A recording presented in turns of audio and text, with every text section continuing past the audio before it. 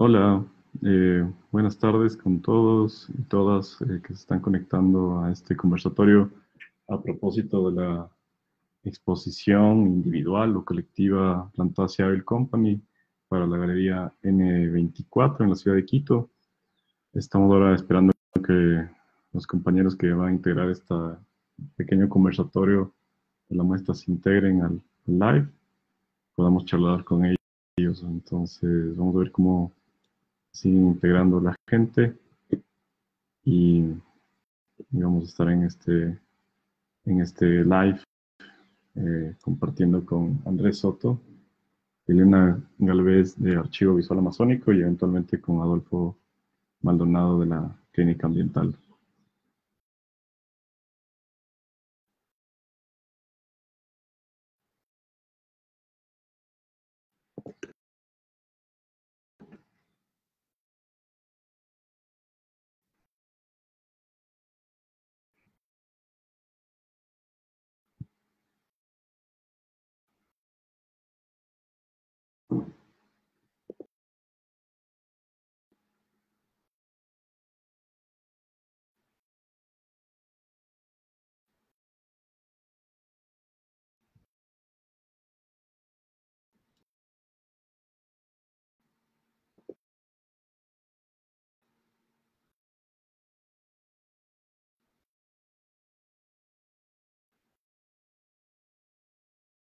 De paso quisiera agradecer a la gente que también nos escribió en, inbox esta semana, eh, preguntando un poco hasta cuándo va a estar la exposición y dónde más va, se, va a poder encontrar material sobre la exposición. Eh, la muestra para los que pudieron visitar la inauguración eh, abrió sus puertas este mes de enero, 19 de enero, y fue, fue un gusto poder compartir con varios compañeros y amigos en, en este primer momento de la muestra. Eh, fue, como les digo, una exposición individual. Por ahí está ya Elena conectada. Hola Elena, ¿cómo estás? Hola.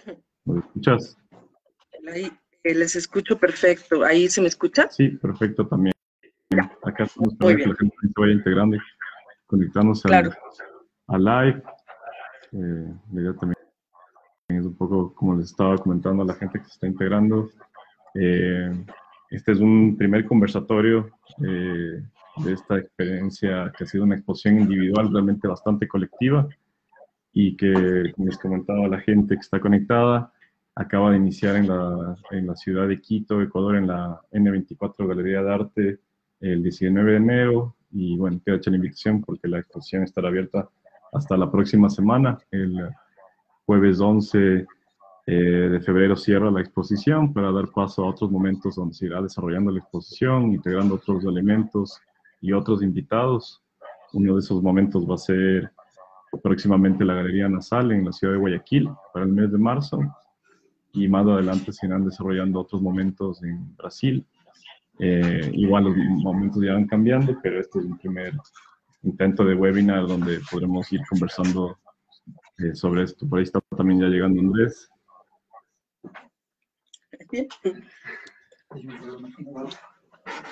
Me queda con la pregunta de nuestro invitado especial también para esta webinar de Adolfo Maldonado, cómo si lo podríamos compartir el link también del, del, broadcast para podernos integrar.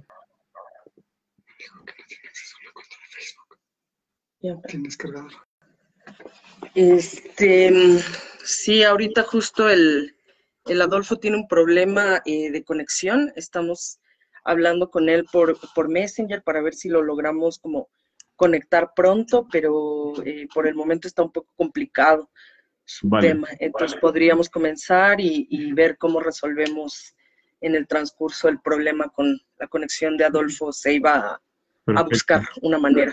Eh, igual, como les comentaba, a los problemas que se están integrando al, al streaming, y a ti, Elena. Este es el inicio de una conversación que idealmente se irá desarrollando y desenvolviendo en el siguiente tiempo. Hay que, hay que pensar un poco que, que realmente Plantasia Oil Company nace como una exposición de arte, como les digo, que está en ese intermedio entre colectiva e individual, o yo personalmente la siento así, y en el que va a tener varios eh, trampolines adelante en los meses futuros en este 2021, eh, en el que hemos comenzado para la Galería N24 en Quito, como sabes, y que eventualmente se irán incorporando otros elementos, otros invitados y otras reflexiones que eh, desbordan la idea solo de una instalación, solo de una pieza, y posiblemente estos webinars también irán creciendo y podrán ir perfeccionándose también y podremos tener otros invitados para ampliar un poco el diálogo. Entonces, quizás sí, podemos esperar un rato más, ver si es que realmente Adolfo va a lograrlo y si no, dar definitivamente paso para que nos cuenten ustedes desde el archivo visual amazónico un poco su experiencia y, y contarles también a la gente que no ha visto todavía la exposición eh, lo que hemos preparado para, para, la muestra.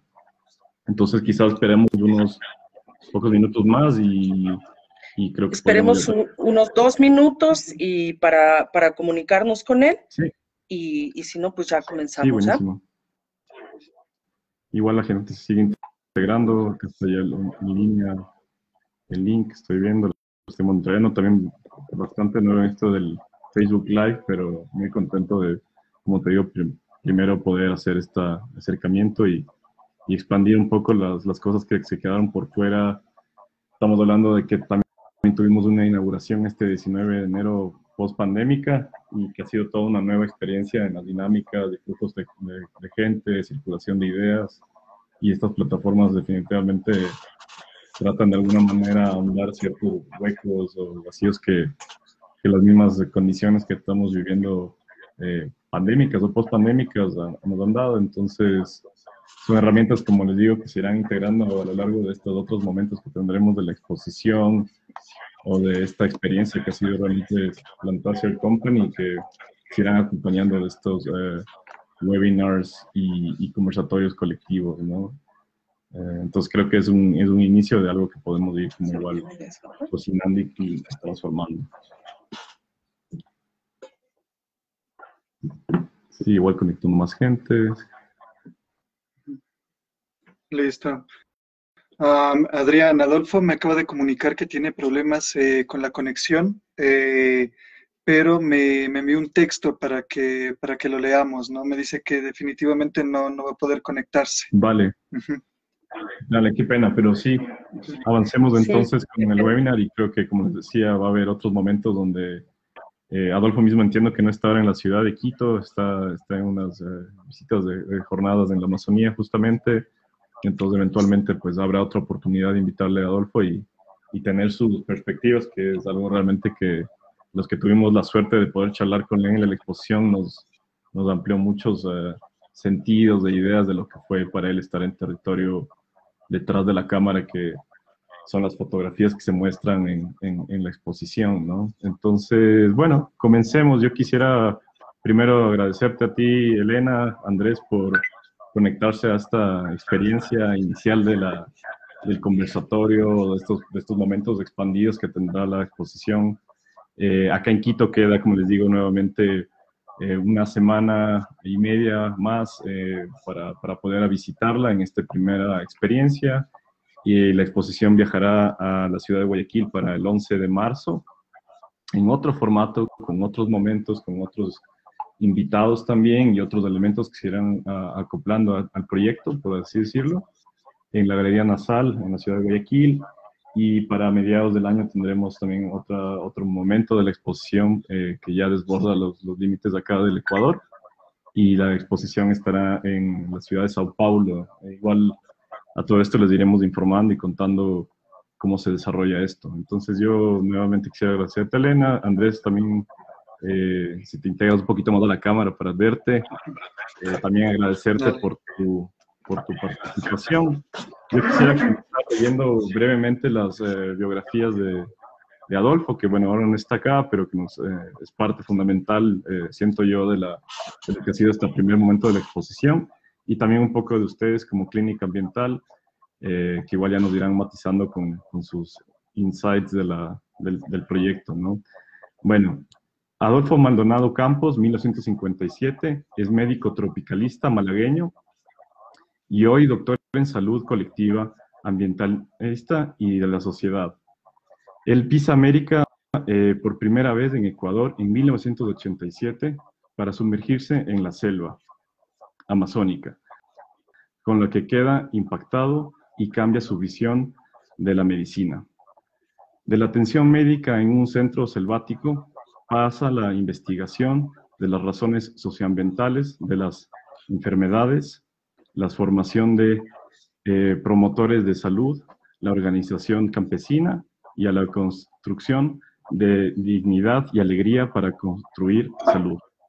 Acaba eh, convencido de que el proceso de salud, enfermedad, eh, comienza en la calidad del suelo que nos sostiene. Sus fotografías son el reflejo de esta transformación personal. Clínica ambiental. La clínica ambiental surge en 2008 como una propuesta de reparación integral ante los graves problemas por los que atraviesa la Amazonía ecuatoriana. Tiene su sede principal en Lago Agrio, zona afectada por las actividades petroleras, las eh, aéreas del Plan Colombia, el uso indiscriminado de pesticidas en eh, monocultivos y surge como una propuesta de reparación desde dentro y desde abajo, que incluya el suelo, las plantas, los animales y el tejido social, en definitiva, los socioecosistemas. Mm, la clínica ambiental, como proyecto de reparación socioambiental, es una asociación de hecho entre el Centro de Estudios y Asesoría Social, CEAS, y la Acción Ecológica, y cuenta con un equipo multidisciplinario de profesores y profesionales médicos, psicólogos y sociólogos, agrónomos, todos y todas ecologistas comprometidos con la naturaleza, que junto a una eh, treintena de promotores de diferentes eh, comunidades trabajan su compromiso comunitario y tienen eh, convenios con diferentes universidades como la Universidad Andina. Mm, no sé si quieren pasar un poco a contarnos, yo voy a hablar también brevemente del Archivo Visual Amazónico. El Archivo Visual Amazónico es un espacio virtual creado para integrar, preservar, mostrar imágenes de la Amazonía a través de diferentes cuerpos visuales. Los archivos eh, compilados dan cuenta del avance de las industrias extractivas, los diferentes frentes de colonización, las catástrofes ambientales, las luchas y las resistencias locales, así como los paisajes que muestran la diversidad de este territorio.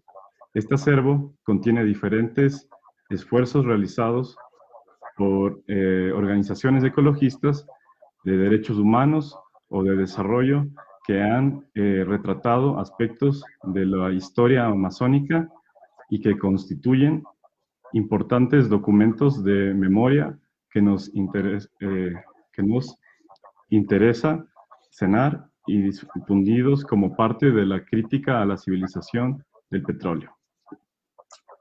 Este, bueno, eso fue brevemente la, biografía de los proyectos que conforman esta primera participación. Yo me presento brevemente, yo soy Adrián Barseca, soy artista visual, eh, también diseñador gráfico y, artista plástico que resido acá en la ciudad de Quito.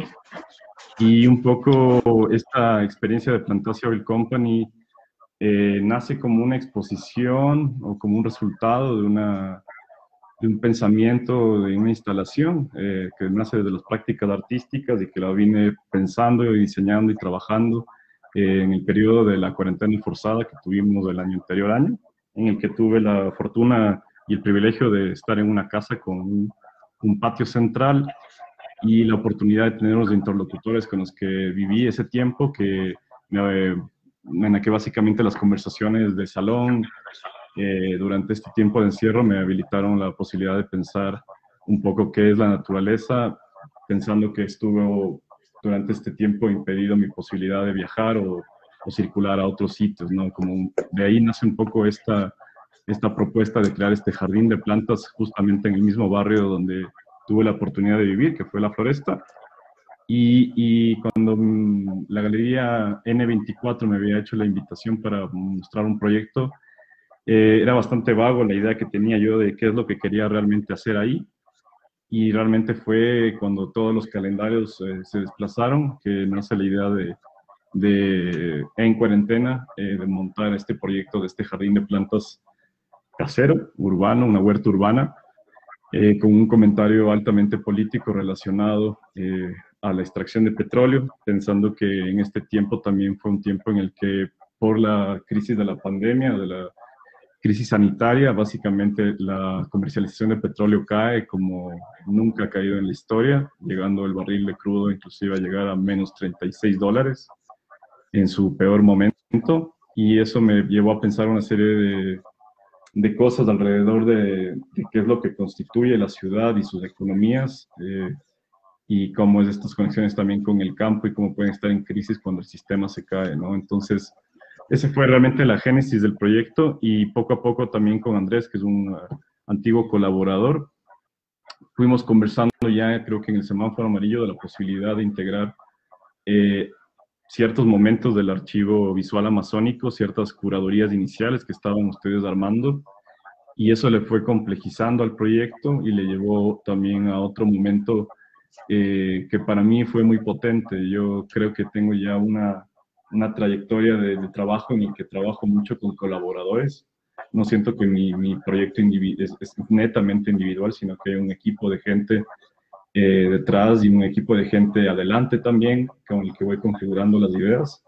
Eh, y en ese sentido siento mucho al archivo visual amazónico y lo que ustedes han hecho desde la curaduría de, de estas fotografías de Adolfo, como una, una, una gran invitación y un, un invitado de honor y así lo siento yo, como un invitado de honor a este, a este, este momento que ha sido Plantacio Oil Company y lo que ha iniciado. Entonces, eh, yo quisiera comenzar quizás por ahí, ustedes que nos cuenten un poco, Elena, Andrés, cómo nace el archivo visual amazónico. Yo no sé si es que nos quieren contar un poco cómo, cómo no sé si fue también un proyecto que ya tenía larga data o que, nace ya también en cuarentena. Sí, eh, bueno, eh, hola a todos, todas las que están conectados em, y conectadas.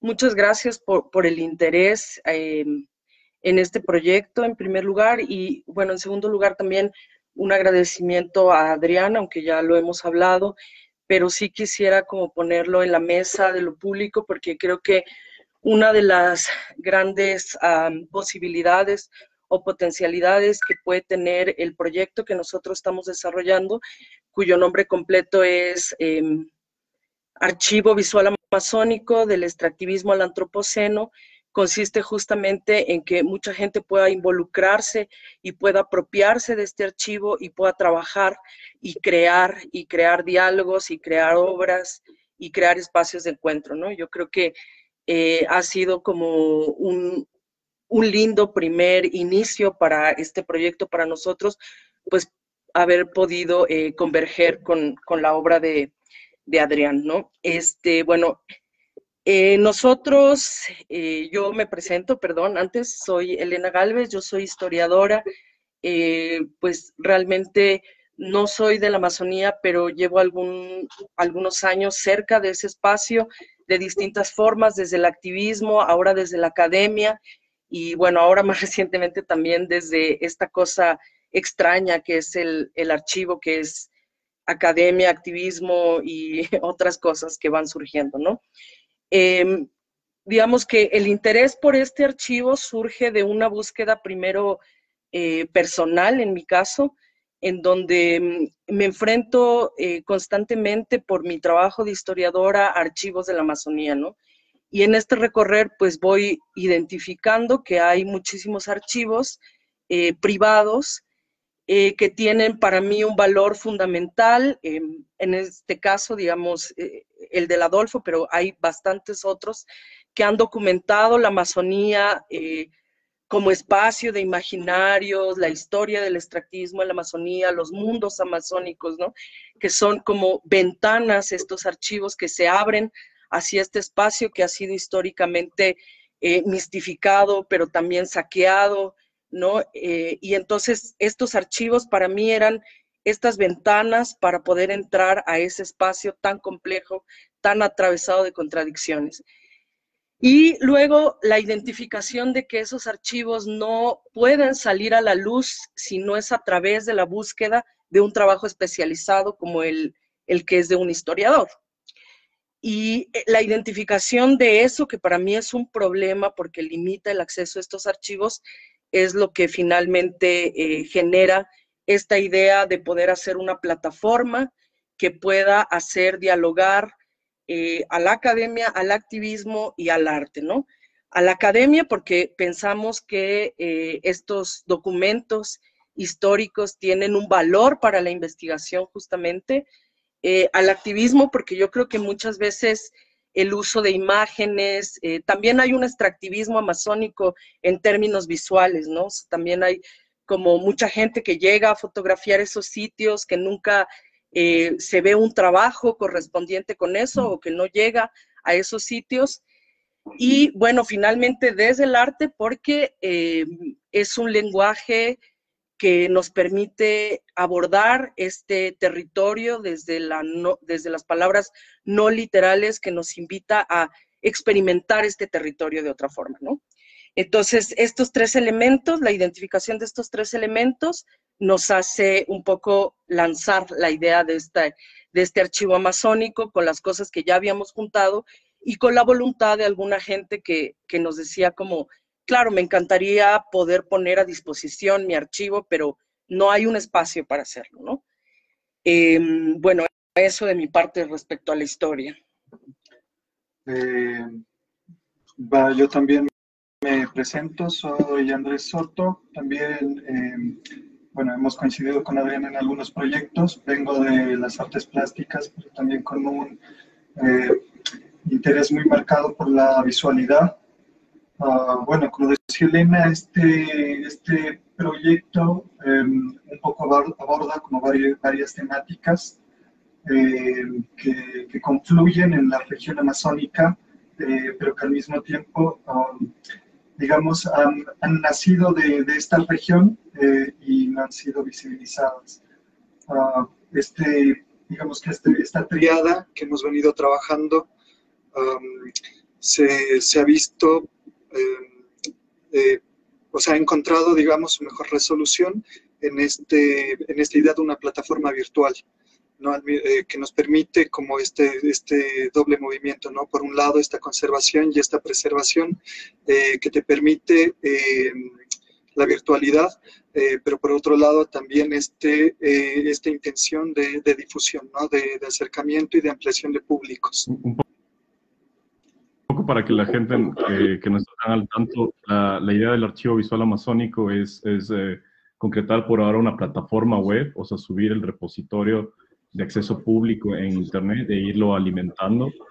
Y ahí es interesante pensar, no sé, y tal vez mi pregunta más bien es, eh, ¿ustedes ya tenían esta idea de que el archivo sea un espacio virtual, un espacio en línea de acceso público, o es algo que se fue transformando también un poco en el intermedio de que la pandemia también, por otro lado, cortó los, los canales de poder consultar eh, acervos eh, públicos en algunos casos que eran físicos y que tenían esta lógica física? Son realmente contados los, los acervos eh, públicos nacionales que están, eh, o repositorios que están en línea, y, y son evidentemente escasos eh, los contenidos que realmente son mucho más extensos físicamente.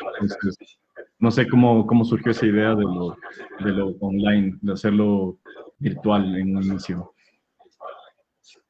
Bueno, efectivamente, digamos, un poco retomando también lo que decías al principio, la pandemia ha puesto una coyuntura de, tener que repensar algunas cosas. El proyecto original eh, surgía también de, la identificación de que hay una narrativa histórica respecto a la Amazonía que hace parecer los episodios de extractivismo y las catástrofes ambientales y sociales que ha creado esta, esta industria petrolera, en este caso, como hechos aislados, como si fueran ¿cómo decirle? Como si fueran episodios que no constituyen el total de esta mm. historia amazónica.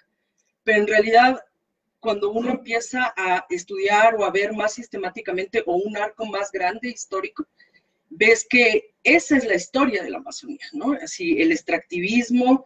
Y entonces, eh, nosotros originalmente lo que queríamos era mostrar una exposición gráfica de la historia del extractivismo en la Amazonía ecuatoriana, que fuera en los sitios donde se ha llevado a cabo eh, simbólicos este extractivismo, como la Guagua y Chuchufindi, habíamos trabajado un proyecto así, y claro, llega la pandemia y no hay cómo viajar para allá, y no hay cómo conjuntar gente, y entonces, bueno, el, el proyecto toma este giro de primero hacer esta exposición virtual, pero luego estuvimos pensando también, si ya tenemos esta exposición virtual, si tenemos ya archivos fotográficos que han sido donados, eh, con la voluntad de, quienes los han donado de que sean eh, de uso público como un bien común.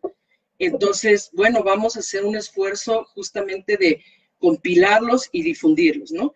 Eh, el archivo, de alguna manera, no solo este archivo, sino los archivos en general, pues son una voluntad de resguardo de una historia, de una narrativa, ¿no?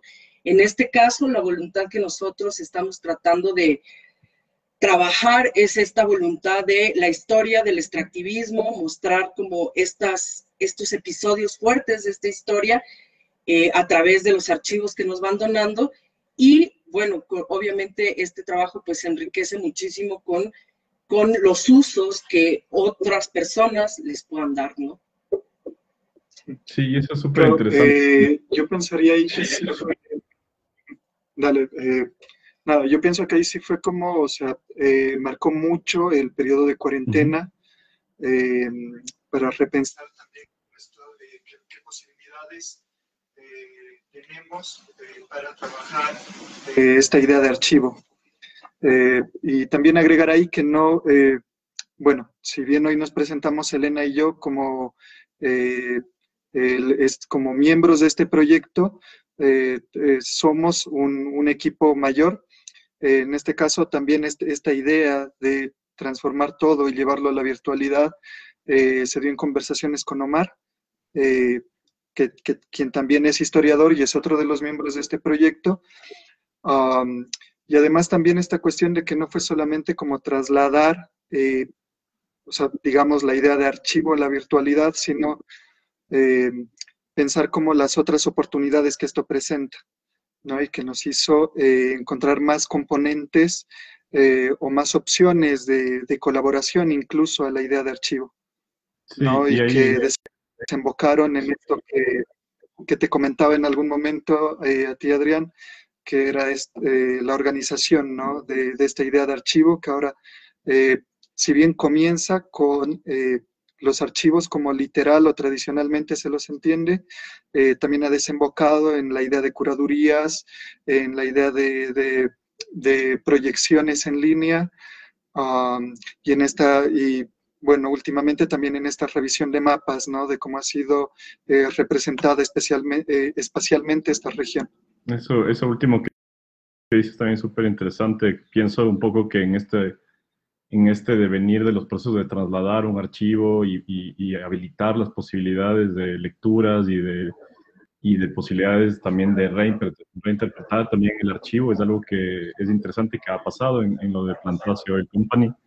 Cuando tú, Andrés, me comentabas un poco de este material que estaban recabando ya con Elena y que venían trabajando, eh, de estos slides fotográficos producidos por Adolfo, eh, finales de los ochentas, eh, que son muy, muy específicos, desde una mirada también de alguien que, bueno, ya vamos a hablar un poco más de él, eh, que no necesariamente viene desde, desde, la academia o desde las artes visuales o plásticas. ahí conectó mucho también el tema matérico y ahí se dio un proceso también interesante de, de transformación de las, del archivo que ya ustedes habían levantado. para los que no han visto la exposición, la muestra tiene un, un momento, uno de los tal vez momentos abridores también de la, de la, experiencia de la exposición, en la que el Archivo Visual Amazónico ha hecho por un lado una curaduría, ustedes han hecho una curaduría, una selección de 80 fotografías de la clínica ambiental para esta muestra, y, y esa, esa curaduría eh, es ya de, una, de, un archivo que ha sido digitalizado previamente por ustedes a partir de los eh, slides, de los fotogramas eh, físicos de Adolfo Maldonado, que una vez digitalizados y escaneados en, alta resolución por ustedes, nuevamente han vuelto a vivir y han sido producidos para volver a, vivir en, en, slide, ¿no? Entonces, nuevamente hay una, un paso a, un formato físico de un archivo que ya ha sido digitalizado y que posiblemente eh, va a estar pronto en la web y para tener un display eh, físico, ¿no? O sea, para la gente nuevamente que no ha visto la exposición, en este segundo momento que abre la, la, experiencia tienen un proyector de slides con 80 fotogramas eh, basados en los originales. Hay que, hay que recalcar eso, que no son los originales de Adolfo los que están en riesgo en la muestra, sino realmente son unas, unas réplicas de los originales eh, muy filiales en, en, el material del celuloide original y están siendo proyectados constantemente en el espacio de la galería. Entonces ahí me parece que hay como dos momentos que quizás podríamos hablar también. Esta, esta posibilidad que habilita el archivo o el acceso a ese acervo que ya desborda el, el espacio exclusivamente académico y que tiene unas limitaciones, como ha mencionado Elena al inicio, y permite y, habilita sin duda estas, estas próximas lecturas o nuevas reinterpretaciones o usos del archivo. Y por otro lado está el tema de ustedes también como curadores del acervo, ¿no? O sea, ustedes han hecho una, de su, de su gran investigación que tiene varios acervos que se están incorporando y otras, otras colecciones fotográficas, ustedes han hecho una selección de 80 fotografías que de alguna manera dialogan con, con los impactos de esta industria eh, petrolera en esta zona del lago Agrio, donde comienza la historia de la extracción eh, petrolera en la Amazonía ecuatoriana. Y no sé si me quieren contar un poco cómo fue esa selección, cómo, cómo fue esa decisión de seleccionar estas 80 fotografías de, un acervo que por ahora es bastante amplio, es bastante más grande que lo que se muestra, ¿no? sí, eh, bueno, eh, este, este archivo específico del que estamos hablando, que es de Adolfo, eh, creo que un poco la, selección está en, determinada por, por el contenido mismo del archivo y por lo que estas fotos quisieron abordar en el momento en el que fueron tomadas, ¿no? Un tema que a mí me parece importante recalcar y que se me había pasado decir es que los archivos que están integrando el archivo visual amazónico son archivos que no fueron creados con la voluntad de ser documentos históricos o estar en un archivo. Hmm. Son archivos que provienen de organizaciones ecologistas, de organizaciones de derechos humanos, eh, de organizaciones conservacionistas o de eh, personas individuales que, que se han acercado a la Amazonía, ¿no? Pero digamos que es bien, es bien interesante ver cómo la fotografía, así como objeto, es utilizada en esos casos para eh, poder denunciar lo que está pasando en estos sitios, ¿no? En el caso específico del archivo que, se utilizó en, la, en, la, en el trabajo de Adrián, es un archivo que documenta la devastación petrolera del norte de la Amazonía desde la década de los 80 más o menos hasta los 2000. Es decir, que va a abarcar todo el, periodo de, va a tratar de documentar todo lo sucedido o todos los estragos que causó Texaco específicamente, que, que operó unas décadas antes en la Amazonía y que cuya operación, además de tener impactos por, por ser extracción petrolera, también hubo mucha irresponsabilidad, ¿no? Y, de, y digamos, de esa denuncia pues surge uno de los antecedentes más importantes de la historia del ecologismo ecuatoriano y yo creo eh, del ecologismo en general, que es esta demanda contra Texaco que, bueno, lleva mucho tiempo y que ha generado también muchos archivos fotográficos, muchas denuncias, muchos testimonios, ¿no? Entonces, este archivo es eso. Ahora, una cosa que a mí me parece muy importante y muy interesante de ese archivo es que este archivo surge apenas una década después de que el petróleo se presentaba en Ecuador como la panacea del desarrollo, ¿no? Entonces, digamos que es, en este archivo lo que vamos a encontrar es una crítica temprana al desarrollo, o el desarrollo entre comillas, basado en la extracción petrolera, ¿no? Es un primer elemento importante. Y luego de ahí, bueno, este archivo, la, selección que nosotros hicimos es como uno que dividíamos un poco entre eh, infraestructura, ¿no? En este archivo van a poder encontrar, bueno, en esta selección van a poder encontrar como la apertura de carreteras, cómo se hacía. Hay muchas historias ah, ligadas a eso que nos contaba el Adolfo, que fue quien lo creó, ¿no? Como em, cómo llegaba la, la, industria y la gente bebía esa, esa agua que iban tirando en el suelo, cómo se hacía la, cómo se hacía la deforestación para abrir estos caminos, ¿no?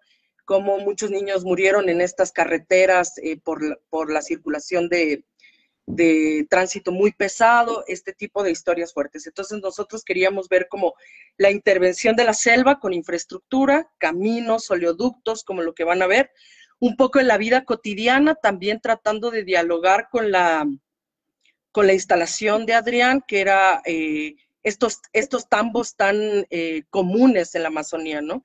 Que llegaban las empresas petroleras, no solo Texaco, los dejaban ahí, la gente eh, pues se los apropia y empieza a utilizarlos y se empiezan a ver como parte del paisaje cotidiano de las casas, ¿no? Entonces, en un segundo lugar era eso y en un tercer momento eh, mostramos tan solo algunos rostros de la Amazonía, ¿no? Tratar de darle vida a esos espacios era como tratar de invitar a la gente que, que hiciera un toxitour, que es como una práctica activista donde la gente llegaba al Ecuador, hacían estos eh, recorridos en el norte de la Amazonía devastada por petróleo y a eso le llamaban Toxitour y eso generaba pues una, una empatía muy fuerte con, con, la problemática ambiental que se estaba viviendo allá, ¿no? Entonces un mm. poco esa fue la, el criterio de esta selección. Eh, Andrés, no sé si tienes algo ahí. Ya. Eh,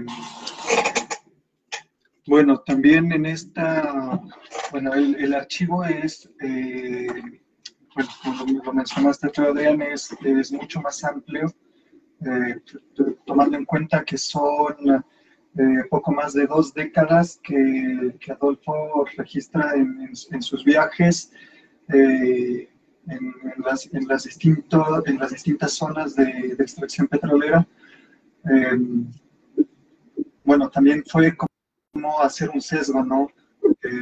que por un lado sí eh, se hizo eh, de, nuestra parte como materialmente hablando, generando este, este contraste entre infraestructura y vida cotidiana, y por otro lado pensando también cómo se da este diálogo entre eh, este archivo que nosotros, o sea, que bueno, que acá en el proyecto se ha venido categorizando, que se ha venido fichando eh, y cómo eh, este entra en, una, en un tipo de conversación con el planteamiento que tú hacías en esta instalación.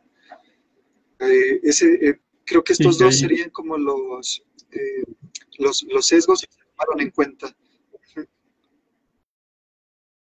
Sí, a mí algo que me, me llamaba mucho la atención también es cómo la, en la exposición, la exposición abre con una eh, ahí sería una, una curaduría mía realmente muy de mi, de mi colección, mucho de mi, de mi acervo personal y de unas colaboraciones también que se incorporaron a, a mostrar. Eh, se muestran 10 publicaciones, 10 eh, publicaciones que van desde 1950 hasta los 80, hasta 1989.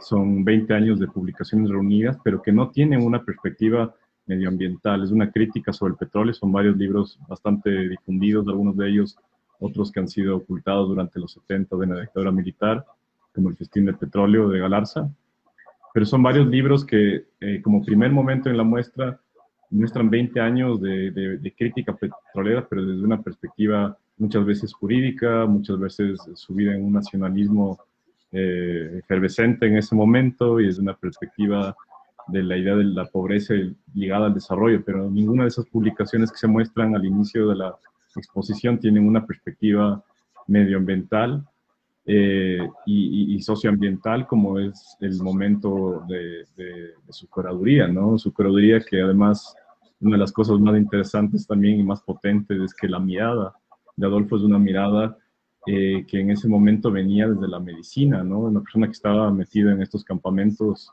y que venía desde la medicina. Me, decían ustedes que gran parte de la, del acervo que está levantado por ahora eh, son fotografías sobre todo de piel y de, la, y de las afecciones que tienen las comunidades eh, amazónicas que viven alrededor de estos contextos de extracción petrolera. Eh, y, eso es muy interesante ver en esta, en esta selección, que es también una mirada bastante desenfadada sobre, sobre esto, pero también como muy punzante también sobre ciertas agendas que se estaban cocinando ahí, ¿no? Y que finalmente salen a la luz muy tempranamente como lo que podría yo entender como unos primeros acercamientos en el Ecuador a tener una crítica al petróleo, pero desde una perspectiva medioambiental, que no es algo que existía previo a, quizás al Pocho Álvarez o, en ese mismo momento, muy contemporáneo sin duda, el, el Adolfo, ¿no? Entonces, no sé si tú, tú, decías, Elena, que estos, estos archivos son archivos que nunca fueron pensados como una herramienta de memoria necesariamente, sino más como un acto de documentar, eh, que fueron archivos personales que realmente, gracias a ustedes y su trabajo, ven la luz finalmente. ¿Cómo, cómo ha sido eso? ¿Cómo ha sido poder también regresar a ver el trabajo de, gente que tuvo una perspectiva de doctores, eh, de médicos ya hace 20 años más, 30 años atrás, y, volver a releer esos archivos, releer esas, esos documentos. Bueno, ahí sí que, em, digamos que la voz del Adolfo ahí sería fundamental. Eh, es una pena que no pueda acompañarnos hoy, pero en los diálogos que, hemos tenido con él, eh, él de alguna manera, y yo creo que pasa con alguna gente que tiene archivos, sabe que hay un valor eh, de memoria en estos documentos, ¿no? Y entonces los guardan. En el caso del archivo de Adolfo, llevaba 20 años en su estante, ¿no? Y en cuanto nosotros planteamos este trabajo, que fue como empezar a preguntar, a indagar qué gente tiene archivos, qué gente le gustaría mostrar esos archivos, pues el Adolfo fue eh, uno de los primeros que nos dio acceso a su archivo y nos dio tres, tres este, carpetas así gigantes de, slides, ¿no? Y entonces, claro, empezar a, a, mirar tan solo esas fotos, que en un primer momento fue difícil porque es difícil ver estas, estas imágenes chiquitas, estas transparencias sin la máquina, eh, pero traslucían pues una, bueno, digamos que al menos a mí personalmente me hablaban de muchas cosas, ¿no? me hablaban de una necesidad de abordar este espacio que es la Amazonía, que es como un espacio tan mágico, tan ambiguo, ¿no? Porque el archivo de Adolfo tiene unas imágenes que a mí me parecen eh, incluso bastante tiernas, ¿no? Como cosas de la vida cotidiana, de animales, eh, entrando en contacto con esta modernidad citadina, ¿no? Hay una, una, una fotografía que está en la selección que hicimos eh, para tu trabajo, que es un monito que se está robando un, un, un biberón de bebé, ¿no? y está corriendo. O sea, tiene estas imágenes como que te están hablando un poco del encuentro de una modernidad muy acelerada y una modernidad muy violenta, que es la petrolera. Tiene imágenes explícitamente de denuncia, ¿no? Que son imágenes muy fuertes que no están en esta eh, selección que hicimos para ti, pero que están en el archivo que es como eh, gente con problemas de piel, con problemas de salud asociadas a, pues a la devastación ambiental y tiene esta virtud de, documentar la transformación de e, esa naturaleza, ¿no? Eh, entonces, bueno, nosotros fue lindo eh, todos los caminos que ha recorrido ese archivo. Primero el Adolfo y sus caminos en la Amazonía, que sería uno, luego cuando, eh, cuando nos los da a nosotros y luego este diálogo contigo y luego la reimpresión de estos archivos. O sea, es bien interesante ver cómo estos archivos empiezan a, circular unos senderos, unos caminos que, que, no, que no teníamos idea que iba a ser así y que realmente son unos archivos que, como les decía, estuvieron, al igual que muchos otros de la Amazonía, pues en estantes durante muchos, muchos años, ¿no? Entonces ha sido como lindo el poderlos volver a, retomar y verlos ya con cierta perspectiva histórica, ya no en la coyuntura de la denuncia, sino un testimonio, ahí sí ya son memoria, ¿no? Claro. Sí, a mí. también es como importante. sí, a mí eh, en este, en este primer camino que menciona Elena, que es como el camino de Adolfo por la Amazonía, eh, resaltar que este, digamos que esta, esta, esta, esta, serie de experiencias que él tiene ahí, ¿no? Um, que lo llevan a documentar constantemente, todo lo que va observando, te da este aporte, ¿no? De esta experiencia en primera persona, de, de, ese espacio que de alguna manera también, si es un espacio para la imaginación, al mismo tiempo es un espacio que no nos es tan cercano a la Amazonía. Eh, y, ahí se vuelve fundamental el trabajo de, Adolfo, ¿no? que nos permite ese, ese acercamiento, esa, esa experiencia eh, como en primer plano, ¿no? de quien eh, recorrió no solamente esos espacios, sino todas esas experiencias. Sí, eso es algo muy, muy interesante, la mirada de Adolfo, cómo, cómo ha documentado esa experiencia de vivir en la Amazonía, que como decía Elena es una uno de los casos más difundidos, de casos icónicos quizás sobre las eh, eh, denuncias de los desastres ambientales, un caso icónico sin duda acá en el Ecuador, pero es, es curioso saber que estas imágenes eh, también solo hasta ahora tienen una luz pública, ¿no? Entonces ahí pienso mucho nuevamente cuál es el rol de los archivos y cuál es el rol del arte también como un espacio que puede de nuevo habilitar estas propias nuevas narrativas, por ejemplo, con la curaduría o con, el display de, presentar el, archivo, que, me parece que habilitan nuevas posibilidades de lectura sobre un acontecimiento eh, que ya para ese momento tenía 20 años de pasar en la Amazonía y que ya de acá son 30 años atrás, ¿no? Entonces, quizás ahí lo, que a mí me interesaría saber es también cómo, ustedes ven al, al archivo como una herramienta. Quizás eh, eh, esto va a irse cambiando, va a estar, me imagino, un archivo que está también en, en mutación, que está cambiando, que se está configurando ante todo. Y así yo pienso desde el lado de las prácticas artísticas, que también, como lo mencionaba al inicio, esta, esta primera experiencia de ejecución eh, personal, colectiva, tiene un primer momento y se irá, mutando en adelante. Ojalá podamos tener nuevas curadurías también del archivo visual amazónico para las siguientes exposiciones.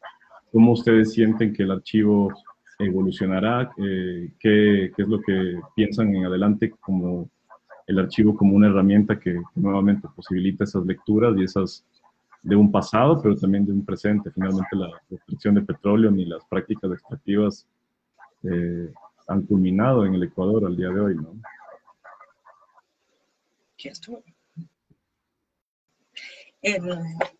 Ya, eh, sí, bueno, es una pregunta un poco complicada en realidad, ¿no? Porque el, el, archivo un poco también ha surgido la idea, el proyecto y el desarrollo inesperadamente en un diálogo donde uno de los descubrimientos lindos es que la gente lo, se lo va apropiando y lo va utilizando de distintas formas, ¿no? Recién tenemos, este, este proyecto lleva un año formándose, un poco más de un año, pero digamos que las últimas semanas ha salido al, al público, ¿no? A través de esta, esta colaboración contigo, a través de otras invitaciones. Recién está saliendo y es como bien interesante como mucha gente se nos empieza a acercar a decirnos que quiere utilizarlo para alguna cosa. Eh, y eso nos habla de la necesidad de tener este tipo de acervos que puedan posibilitar la creación no determinada por los discursos que, nosotros tenemos, ¿no?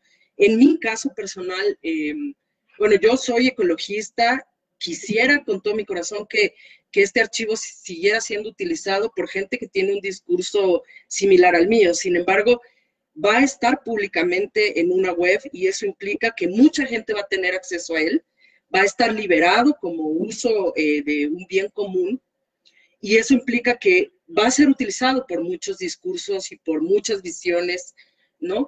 Pero justamente eso que puede ser eh, un poco preocupante, que, ha sido un tema de preocupación para nosotros, también es la parte más eh, su potencia más fuerte, ¿no? O sea, es como que nosotros decimos, aquí está este material de muchas visiones de la Amazonía, de mucha gente, con trayectorias súper importantes como el Adolfo, como el Pocho Álvarez, como tanta gente, y queremos que otra gente lo vea y que otra gente cree, cree cosas con eso, ¿no?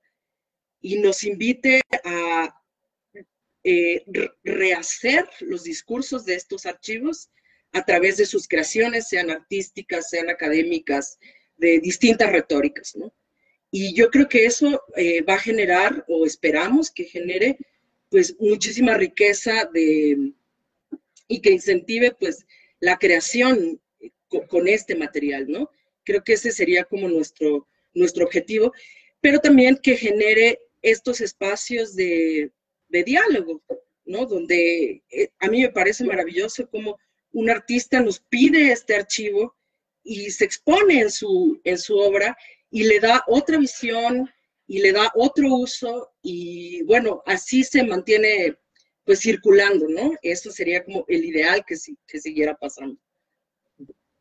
Claro, pienso que ahí eh, también esta, eh, esta cualidad de ser virtual eh, ha permitido otro tipo de, acercamiento, ¿no? Saber que es eh, un material digital que se puede eh, compartir de manera abierta, um, permite un, tipo de, de, apertura que no, que no se da, digamos, con, con la documentación física también, ¿no?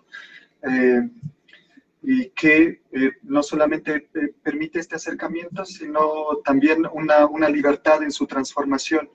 Eh, como lo que hablábamos hace un momento, de este, este recorrido, ¿no? De cómo los slides son escaneados, luego son vueltos a imprimir en un material que es filial eh, y nuevamente vuelven a, una, a, una, vida bastante material.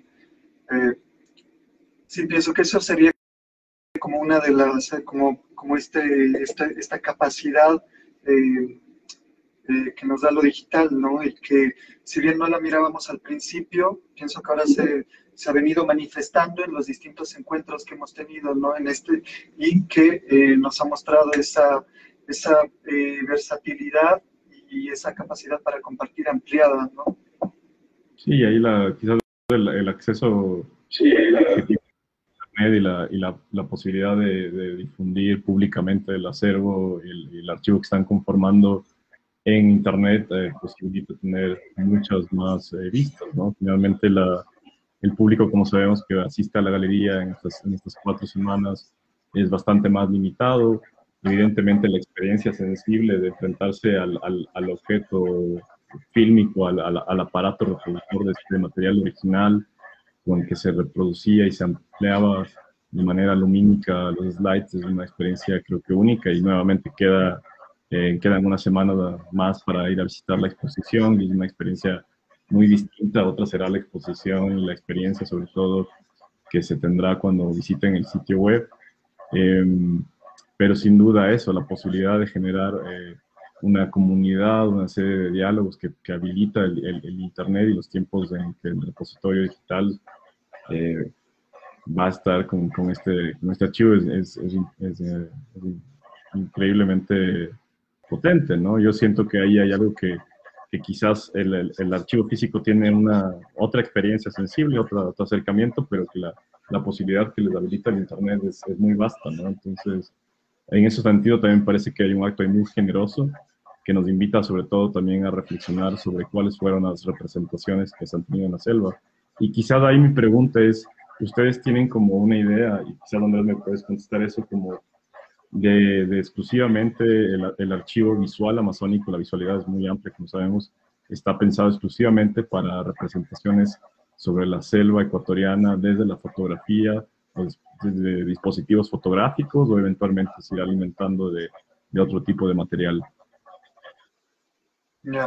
Eh, si bien en un principio lo pensamos, eh, bueno, desde coincidencias con Elena, Ah, sobre la importancia de la fotografía eh, y de cómo la, imagen ha ido, eh, nos ha ido transformando culturalmente, ¿no? La producción de imagen. Eh, cuando pusimos archivo visual amazónico, fue también un poco tratando de ampliar ¿no? Este, esta idea de, de, imagen para hablar de visualidad. Uh, en ese sentido, no solamente nos quedamos con, con la idea de fotografía, si bien es eh, como el primer material al que nos hemos acercado. Ah, la intención es ir ampliando también esta idea eh, de visualidad, ¿no? Eh, no solamente con, con fotografía, sino también con video, ah, con, con, registro, con otro tipo de registro visual, ¿no? Eh, como la pintura, eh, las, las, acuarelas, todos estos registros de, eh, de viajeros, la ilustración botánica, los mapas, como te había mencionado, ¿no? Este, estos registros de, de, representación espacial.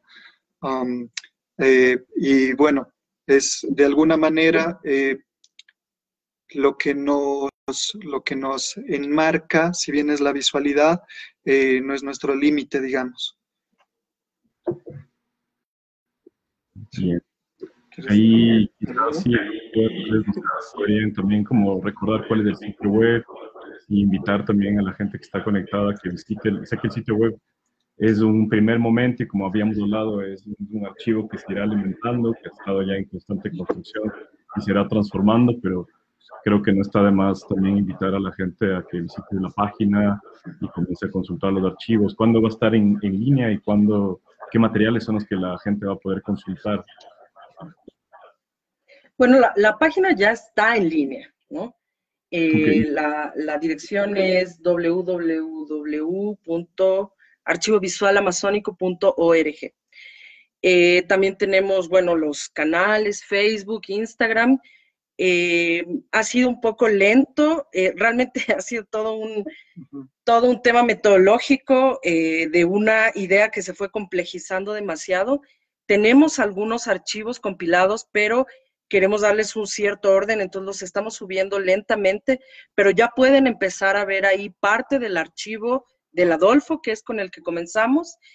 y para el 25 de febrero 4 de marzo y 11 de marzo vamos a hacer el lanzamiento público con algún material ya más este, amplio, digamos, ¿no? Eh, vamos a tener material ya cartográfico, eh, otros dos archivos de organizaciones también.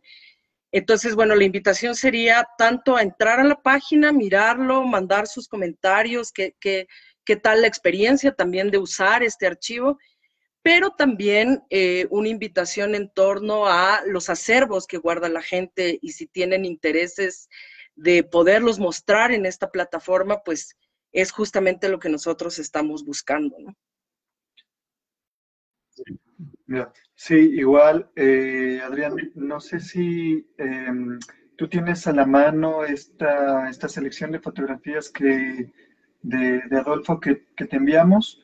Eh, a ver si las podemos proyectar, porque Adolfo me compartió un texto para, para leerlo en, este conversatorio. Sí.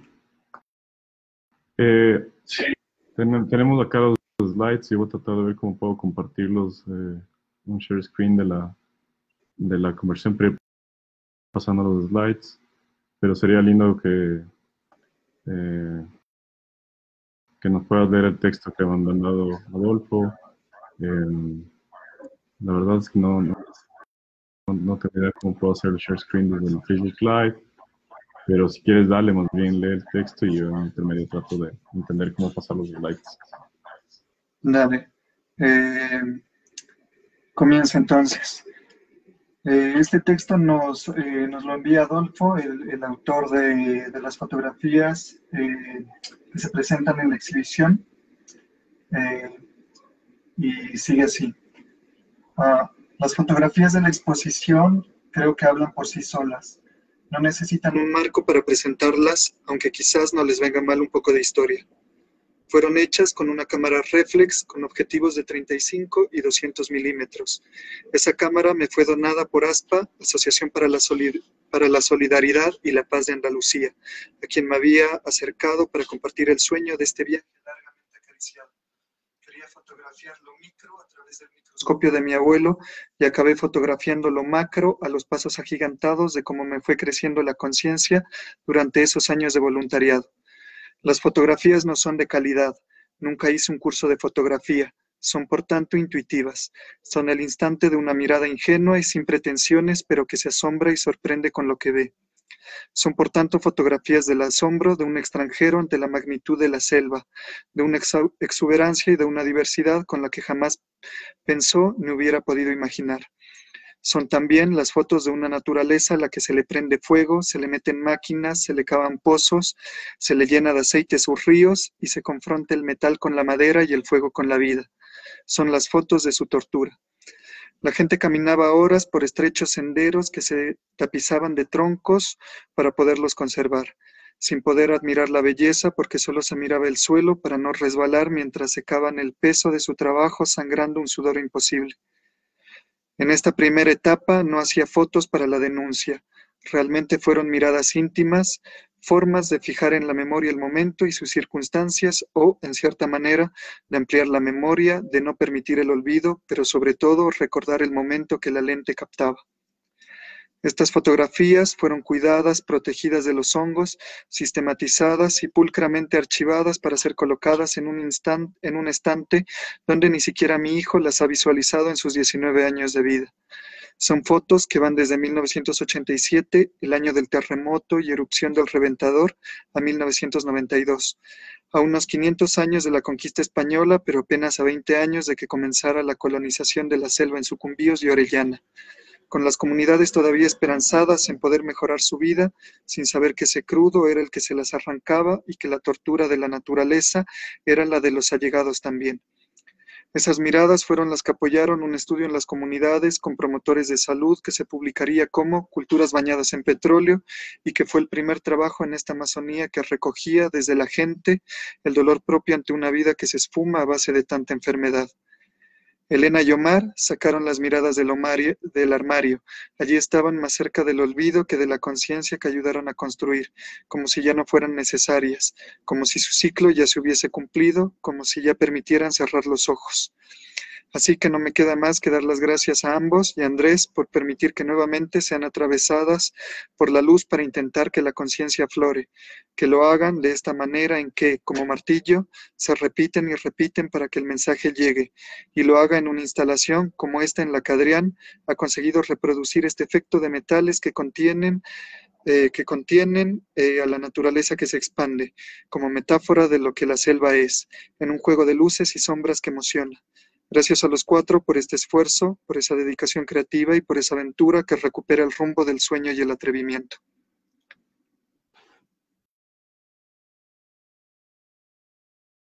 Adolfo nos envía. Sí, que lástima que... Adrián se congeló. Pero nosotros seguimos. Sí, Ahí está. Que, gracias Andrés por leernos el texto. Qué pena no estar con Adolfo para agradecer. Hermoso texto. creo que mm, me siento muy obligado en compartirle, va a ser un gusto poder también circular estas palabras de él. Como le decía también, eh, lo más potente va a ser poder seguir el, el diálogo y, y, sin duda poder tener finalmente al propio Adolfo que nos cuente estas imágenes, que hoy no las ha podido proyectar, pero básicamente ha sido como, como el Adolfo mencionaba, todo un trabajo que ha decantado en volver a dar luz a estas imágenes final. ¿Tú las tienes? De alguna manera tienen ese, han tenido ese objeto tanto desde su lado y el mío, por supuesto, también de, de, dar vida a este material que, como les decía, no, no, nunca está de más. El espacio del arte es un espacio que Elena mencionaba, es un espacio privilegiado y tiene otros interlocutores, otros alcances y que para mí es siempre un, un gusto poder integrar otros interlocutores. qué bonitas palabras. Y como decía, ojalá pueda ser el inicio también de otros diálogos con otros aspectos del archivo y lo que ustedes están conformando como el, como el acervo, ¿no? Ah. Dale. Adrián, nosotros acá estamos eh, compartiendo algunas imágenes, no sé si tú las puedes observar. Sí. Bueno, estas son de la es que no, no son de la selección, son como las generales, pero digamos que hay algunas de la selección dentro de esta, solo que después de este texto del Adolfo sí pensamos que era importante verles mostrar un poco lo que él logró y documentar en ese tiempo, ¿no? las podrán observar si entran a nuestra página más detenidamente eh, creo, que, eh, creo que era como importante poder mostrar, mostrarles por lo menos una parte aquí, ¿no?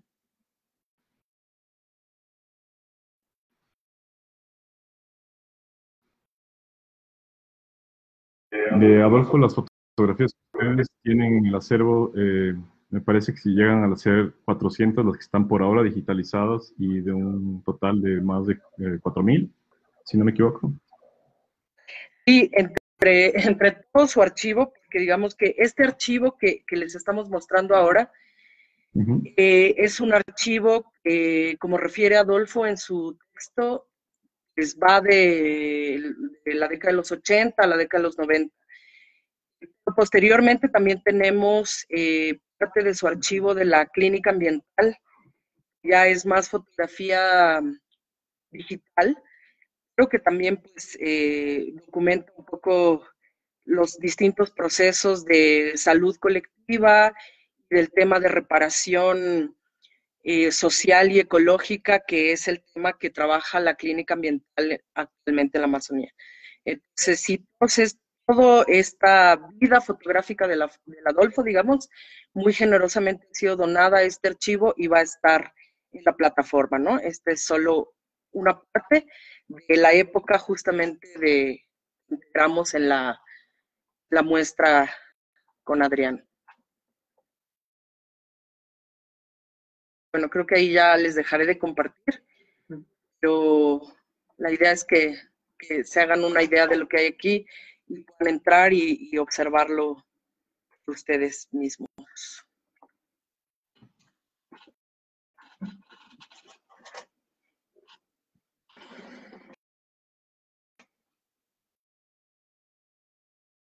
Hola, Adrián. Ok, estoy, estoy ahí.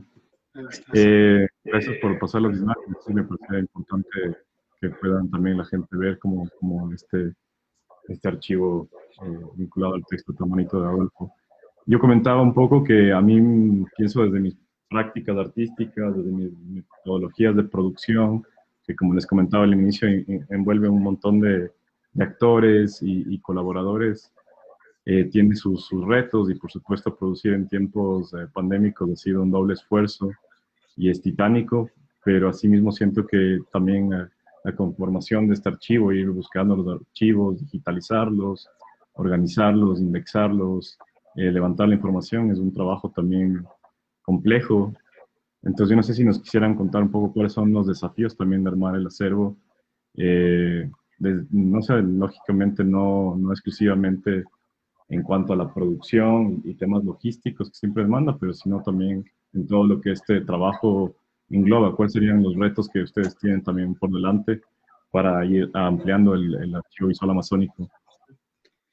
Ya, eh, eh, bueno, uh, al inicio, eh, si bien había toda, toda esta, esta intención de digamos, de, de, volverlo digital para volverlo accesible. Eh, nos hemos ido encontrando con, con, distintas capas, digamos, ¿no? Distintos eh, tratamientos eh, y formas de, categorizar. Uh, y un poco ha sido ir aprendiendo sobre la marcha. Como tú también lo dijiste, un archivo físico tiene otro tipo de sensibilidad, ¿no? Y asimismo tiene sus, eh, sus propios métodos, sus propios procesos. Eh, en nuestro caso ha sido, eh, por un lado, sí acercarnos como cuáles son estos eh, procesos de, de, digitalización o estos tratamientos que, que, se le da a la imagen digital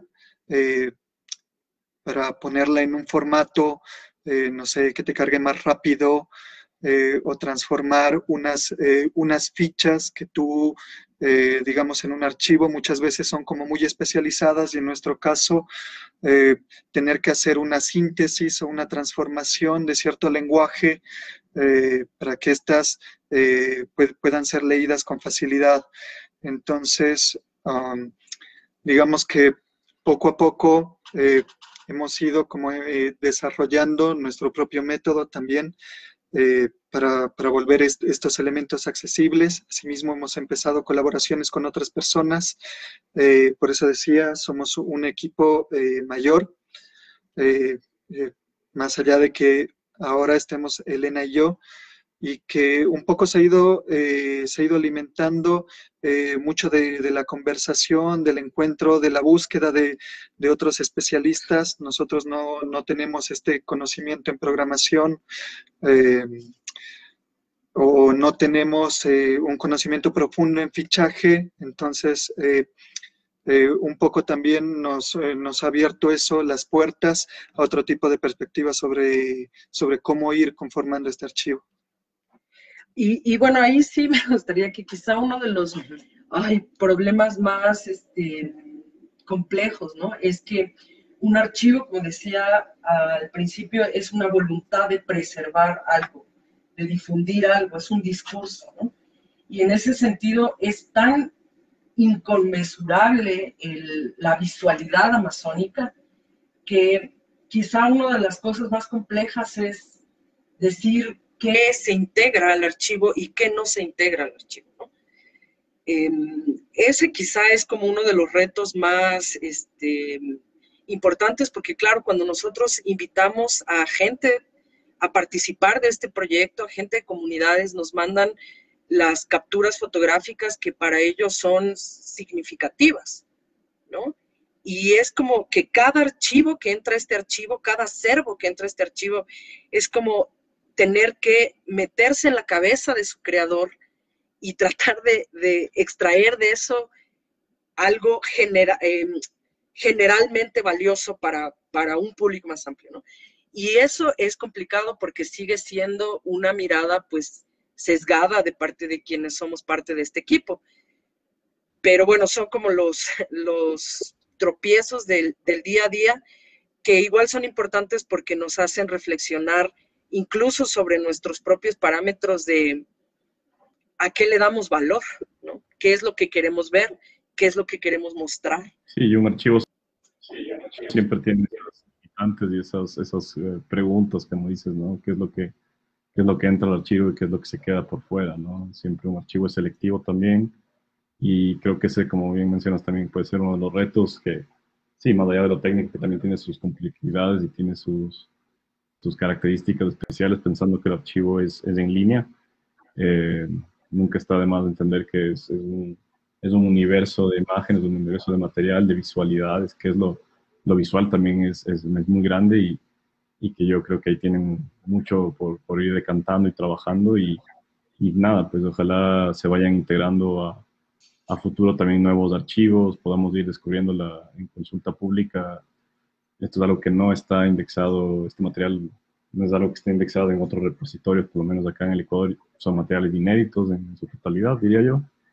Y, creo que eso es lo que es, importante de lo que están haciendo con su trabajo y eso es, eh, nuevamente, para mí súper agradecido de, tenerles en, ser parte de, con, ustedes de esta exposición, de esta experiencia primera, que, que espero y que pueda ser habilitante de otras, otras múltiples entradas también para su proyecto y, sin duda para mí, más allá de una riqueza contextual, el tema central de la exposición es, es una, una, cosa de compartir con amigos y también de, mostrar el trabajo que otra gente y otras voces están haciendo, ¿no? un poco amplificar.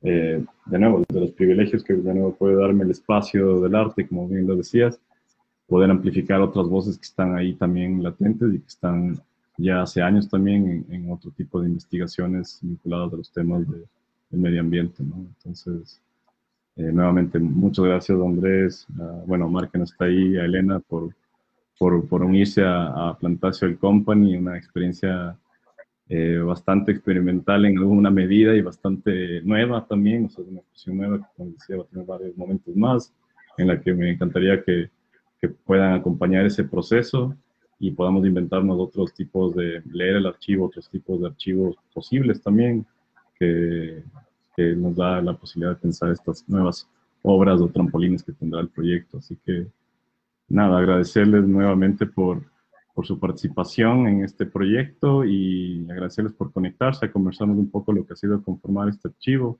No sé si quieren eh, cerrar con alguna idea más.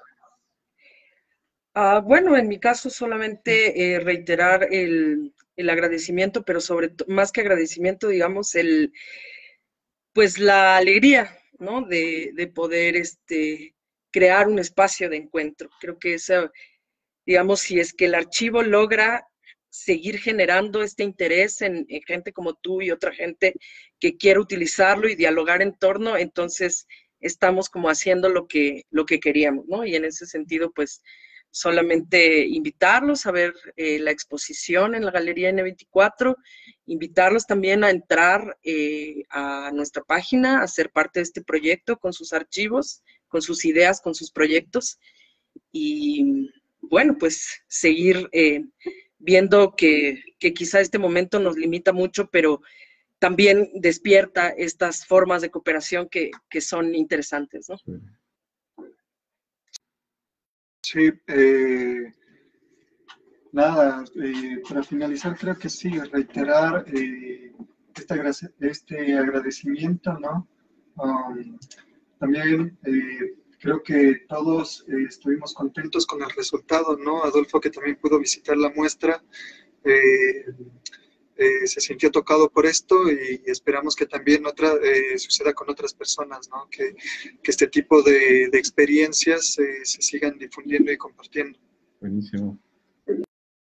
Muchísimas gracias, Amazónico, y ojalá podemos hacer un webinar también para ampliar estos como les decía, va a ser una serie de diálogos, eh, estos son los que están iniciando, que se van a ir desarrollando más adelante, que, sería un gusto poder tener otra oportunidad para conversar y charlar, tal vez físicamente, quién sabe. Eso sería Pero gracias por conectarse. y gracias por conectarse y compartir. Ahora igual eh, vamos a dejar los links también ahí eh, del archivo para que la gente ya pueda entrar al repositorio y nuevamente gracias por, por conectarse y compartir un poco lo que ha sido la experiencia de armar el archivo y participar en, esta, en este proyecto tan especial. Gracias. Gracias, a todos. Estamos conversando. Un abrazo. Abrazos. Abrazo también.